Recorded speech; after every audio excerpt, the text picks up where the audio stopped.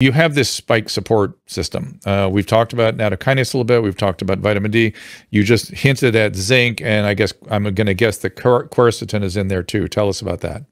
So in in spike support, we actually have uh, the nattokinase, and it's at a great dose. Uh, it's at 2,000 fibrinolytic units twice a day, which is also 100 milligrams twice a day. And then we have dandelion root, which a dandelion extract, which I do believe it was around the fall of 2021 that there was an article that um, showed in vitro activity against with spike uh, attaching to the ACE receptor.